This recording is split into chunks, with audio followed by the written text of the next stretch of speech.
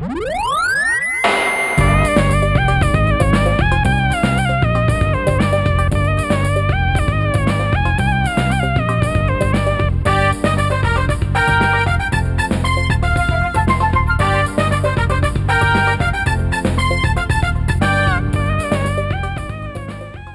বন্ধুরা রোজকার মতো এনটিভির পর্দায় চলে এসেছি। সাথে নিয়ে কুইজ শো জানার আছে, বলার আছে।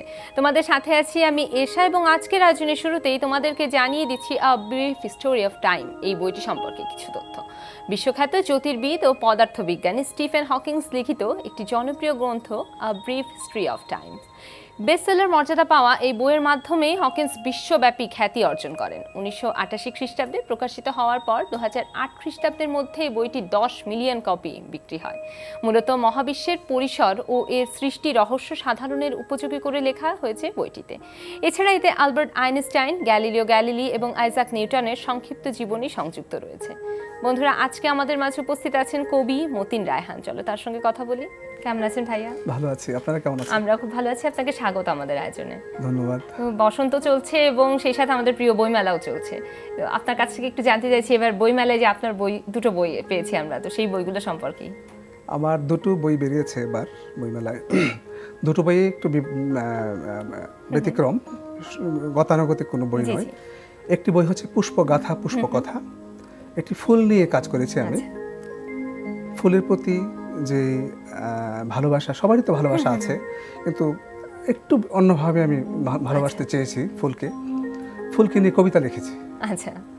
রবীন্দ্রনাথ লিখেছেন নজরুলও কিছু বিচ্ছিন্নভাবে কবিতা লিখেছেন। আমি চেষ্টা করেছি টানা একশো ফুল নিয়ে একশো কবিতা লিখতে। আচ্ছা। এবং বাংলা ভাষা না শুধু অন্য কোনো ভাষায়ও এরকম চেষ্টা কেউ করেছেন কিনা আমার জানা নেই। আমি কতটুকু সফল হয়েছি আমি জানি না এটা পাঠক বিচার করবেন। কিন্তু আমি চেষ্টাটা করেছি। প্রত্যেক দিন ফেসবুকে পোস্ট দিতাম। আচ্ছা। একদিন পর পরও কোনো সময় দিয়েছি। এই ফুলগুলো ফুলগুলো সম্পর্কে আমার ব্যক্তিগতভাবে খুব জানা হয়েছে। আচ্ছা। যে একটা ফুল নিয়ে আমি অনেক স্টাডি করেছি স্টাডি করে লেখাটা লিখতাম তারপরে কবিতাটা লিখতাম। আচ্ছা। তো এই একশোটা ফুল আমি ভালোভাবে জেনেছি। এই যে ফুলগুলোকে আপনার আপনি যে কবিতায় ফুটিয়েছেন এটা কীভাবে করেছেন? আমি ফুলগুলোকে আসলে আমি কবিতা আমার আমার কথাই বলতে চেয়েছি। কোনো কোনো সময় আমি এমনভাবে বলেছি যে ফুলটার কোনো একটা অনুষঙ্গ আমি ধরতে চেষ্টা করেছি। ফুলটার গন্ধ কিংবা ফুলটার রং আচ্ছা। কিংবা ফুলটার প্রস্ফুটন কাল কোনো না কোনোভাবে আমি ফুলগুলোকে আচ্ছা। আমার রিলেশন রিলেশন আনার চেষ্টা করেছি এবং আসলে বলতে চেয়েছি আমার কথাই। কবিতা তো আসলে নিজের কথাই বলা অন্যের কথাগুলো নিজের করে বলা এরকমই বিষয়টা। এবং আমি চেষ্টা করেছি যে একটু ভিন্ন রকম একটা কাজ করার। আচ্ছা। এবং আমি আশা করছি যে বইটি সমাদৃত হবে। এবং এই বইয়ে তো আমরা দেখেছি যে কবিতার পাশাপাশি আরও কিছু ইনফরমেশনও রাখা হ্যাঁ শুধু কবিতা না ফুলটা সম্পর্কে জানার জন্য আমি যেটা করেছি ফুলটার সায়েন্টিফিক নেম দিয়েছি। এটা একজন শিশু থেকে যে যে কোনো বয়সের পাঠক ফুলটা সম্পর্কে যদি আরও কিছু জানতে চায় আচ্ছা। সে গুগলে ঢোকে সে ফুলটা সম্পর্কে জানতে পারছে। পাশাপাশি আমি যেটা করেছি আমাদের সাহিত্যে সাহিত্য এবং সংস্কৃতিতে এবং ফুলটির যে উদ্ভিদবিদ্যার দিক থেকে যদি আমি বিবেচনা করি ফুলটির যে নানা রকমের গুণাগুণ তার বর্ণনা এই জিনিসগুলো আমি দেওয়ার চেষ্টা করেছি গদ্য আকারে। আমি এটাকে গদ্য ভাষ্য বলছি কবিতা গদ্য ভাষ্য এবং ফুলটির চার রঙা ছবি পাশাপাশি সায়েন্টিফিক নেম আমি মনে করি যে এটা সব শ্রেণির পাঠকেই মজা পাবে। অবশ্যই আরেকটি বই নিয়ে আমরা কথা বলব তবে একটা ফোন নিয়ে নিই। হ্যালো হ্যালো আসসালামু আলাইকুম আপু। ওয়ালাইকুম আসসালাম কে বলছো? আপু আমি সামিয়া। কেমন আছো সামিয়া? এই তো আপু আমি ভালো আছি। সামিয়া কোন ক্লাসে পড়ছো তুমি? ক্লাস নাইন এখন বলো কোন বিভাগ থেকে খেলবে?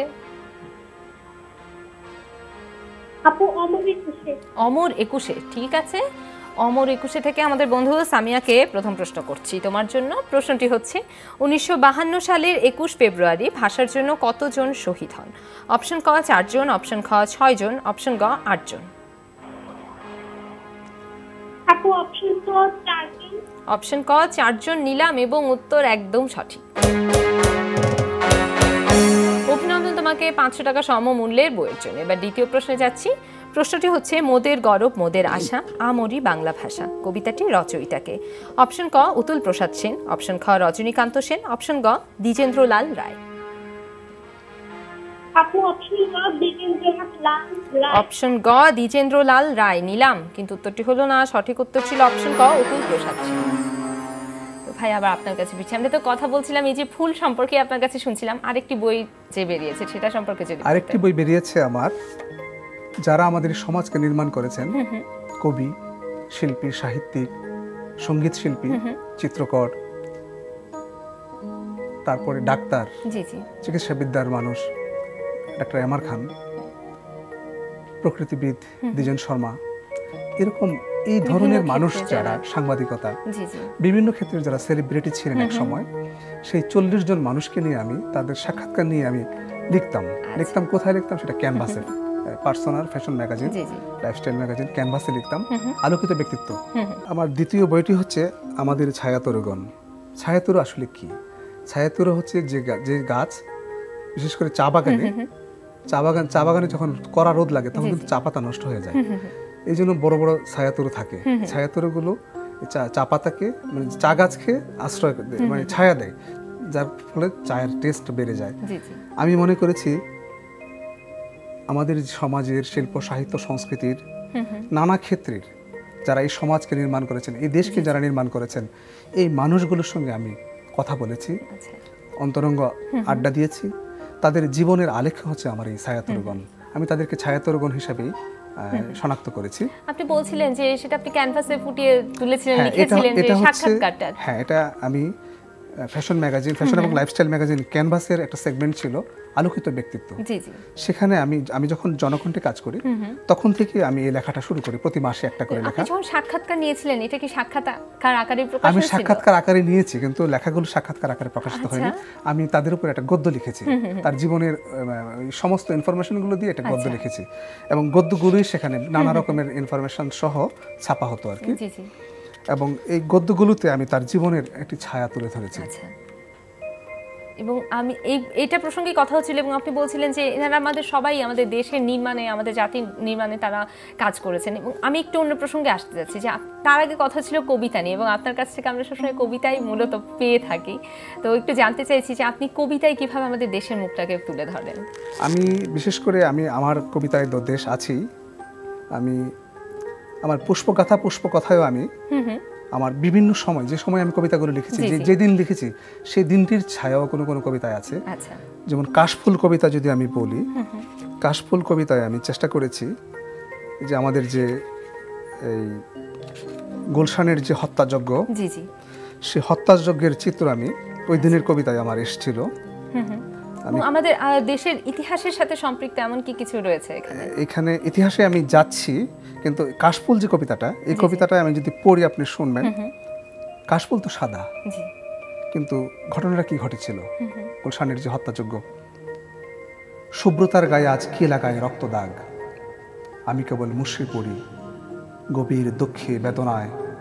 আমাকে নিয়ে চলো জীবনের পাঠশালায় প্রিয় বর্ণমালাগুলো আবারও শিখে নিতে চাই নতুন করে। তোমরা আমাকে আর রক্ত মাখা হিংস্রতার গল্প বলো না। আমি সহজ সত্যে সারাক্ষণ সাদা থাকতে চাই।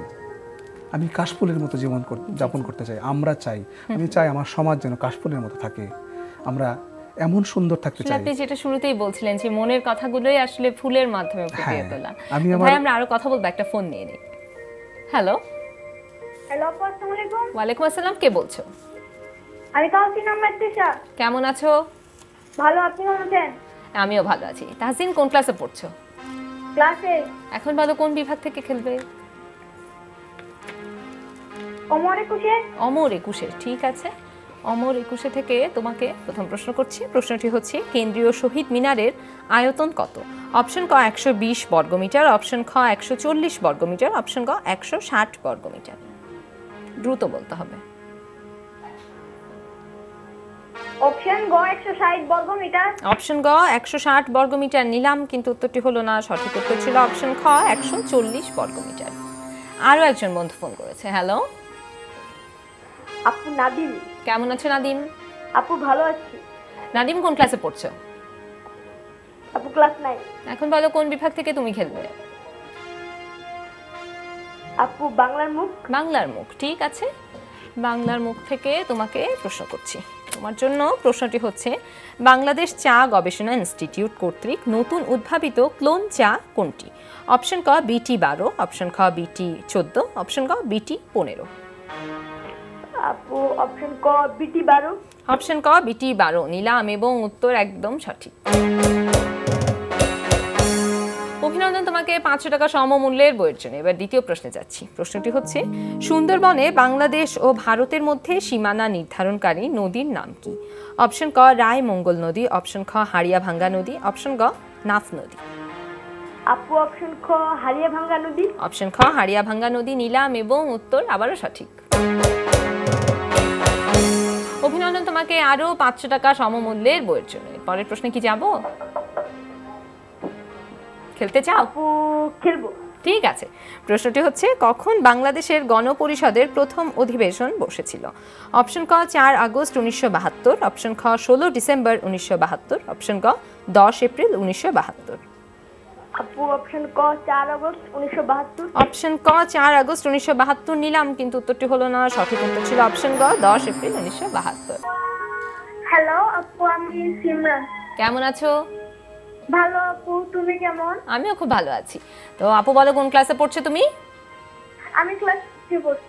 ঠিক আছে এখন তোমার জন্য থাকছে ছবির গ্যালারি থেকে প্রথম প্রশ্ন। প্রশ্নটি হচ্ছে মুক্তিযুদ্ধের এই স্মারক ভাস্কর্যটি কোথায় অবস্থিত?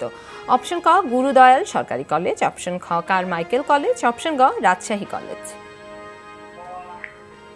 দ্রুত বলতে হবে। অপশন খ অপশন খ কার মাইকেল কলেজ? ঠিক আছে নিলাম এবং তোমার উত্তর একদম সঠিক। অভিনন্দন তোমাকে পাঁচশো টাকা সমমূল্যের বইয়ের জন্য। এবার দ্বিতীয় প্রশ্নে যাচ্ছি। প্রশ্নটি হচ্ছে ছবির এই সাবেক বিখ্যাত জিমন্যাস্টের নাম বলো। অপশন ক নাদিয়া কোমানেচি। অপশন খ সারা টেলার। অপশন গ স্টেফিনা কোমানেচি। দ্রুত বলতে হবে। পুরো অপশনটি বলতে হবে? অপশন ক। অপশন ক নাদিয়া কোমানেচি ঠিক আছে নিলাম এবং তোমার উত্তর একদম সঠিক।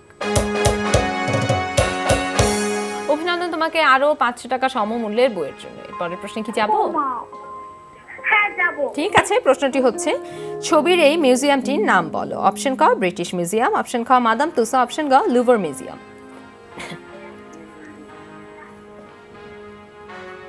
দ্রুত বলতে হবে। অপশন গ।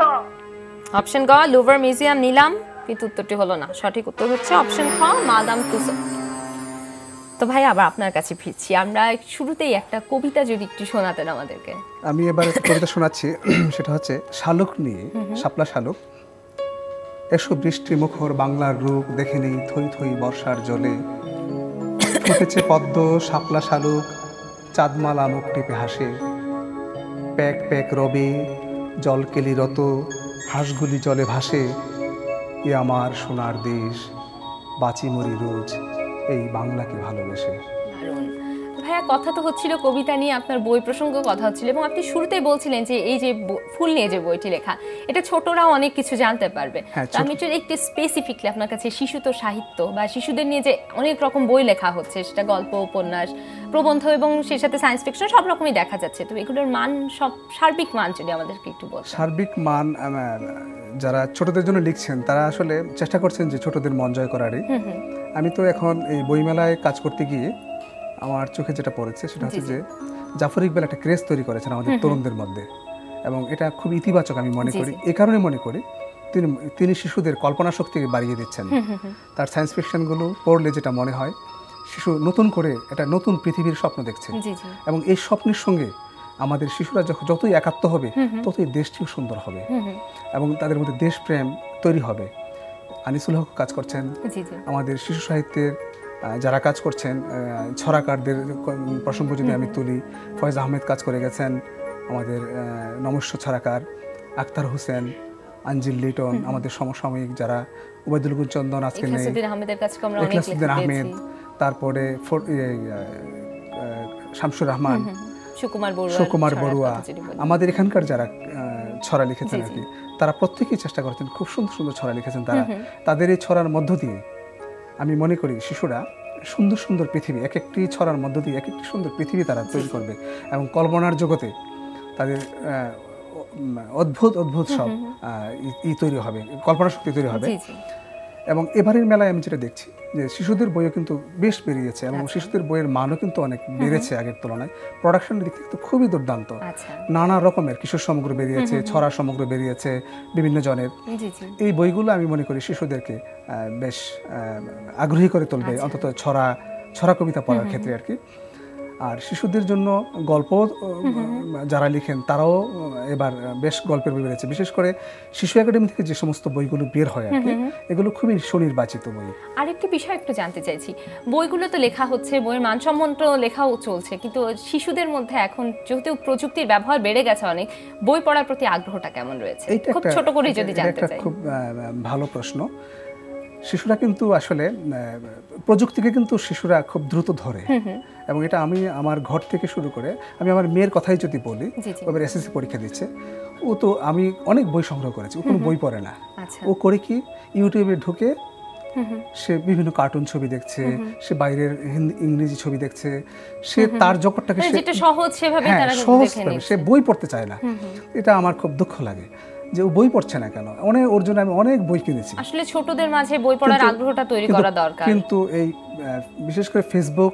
ফেসবুকেও আমার আমি এখনও ঢোকেনি যদিও। এই যে ইউটিউব ফেসবুকে হ্যাঁ। সবকিছু মিলে একটা ক্রেজ তৈরি হয়ে গেছে। এটা থেকে তাদেরকে এনে হ্যাঁ, বইয়ের প্রতি আগ্রহী করা ক্ষেত্রে প্রথম দায়িত্ব হচ্ছে অভিভাবকের। একদম। অভিভাবকরা খেয়াল করবেন তার সন্তান আসলে কি করছে। কারণ ইউটিউবের মধ্যে দিয়ে সে কিন্তু একটা ভিন্ন জগতেও যেতে পারে। তার ইতিবাচক দিকের বাইরেও কিন্তু নেতিবাচক কিছু দিক আছে। এবং তাকে খেয়াল রাখতে হবে অভিভাবকদেরকে যে আমার মেয়েটা আমার ছেলেটা কি করছে। এবং সেভাবে কিন্তু তাকে গড়ে তুলবে এই শিক্ষাটা কিন্তু ঘর থেকেই দিতে হবে। বাবা মা যদি তাদেরকে বইয়ের প্রতি আগ্রহী করে তোলে তারা অবশ্যই পড়বে। আপনাকে অনেক ধন্যবাদ আমাদেরকে সময় দেওয়ার জন্য। আজকের আলোচনা আমাদের এখানেই শেষ করতে হচ্ছে। আপনার জন্য রইল অনেক অনেক শুভকামনা। আপনার জন্য অনেক শুভকামনা। এনটিভিকে ধন্যবাদ। এমন একটি সুন্দর অনুষ্ঠানে আমাকে আমন্ত্রণ জানাবার জন্য। বন্ধুরা, আজকের মতো আয়োজন এখানেই শেষ হচ্ছে। তোমাদেরকে জানিয়ে দিচ্ছি, স্বাধীনতার মাস উপলক্ষে আগামীকাল থেকে আমাদের নিয়মিত বিভাগ অমর একুশের পরিবর্তে থাকছে। নতুন বিভাগ লড়াই। তোমরা প্রস্তুতি নিতে থাকো এবং সেই সাথে বিশ্বের যে কোনো প্রান্ত থেকে যে কোনো সময় এনটিভিতে সম্প্রচারিত সংবাদ, অন্যান্য সকল অনুষ্ঠান উপভোগ করতে লগ ইন করো আমাদের পূর্ণাঙ্গ ওয়েব পোর্টাল ডাব্লিউ সবাই ভালো থেকো, সুস্থ থেকো, এনটিভির সাথে থেকো।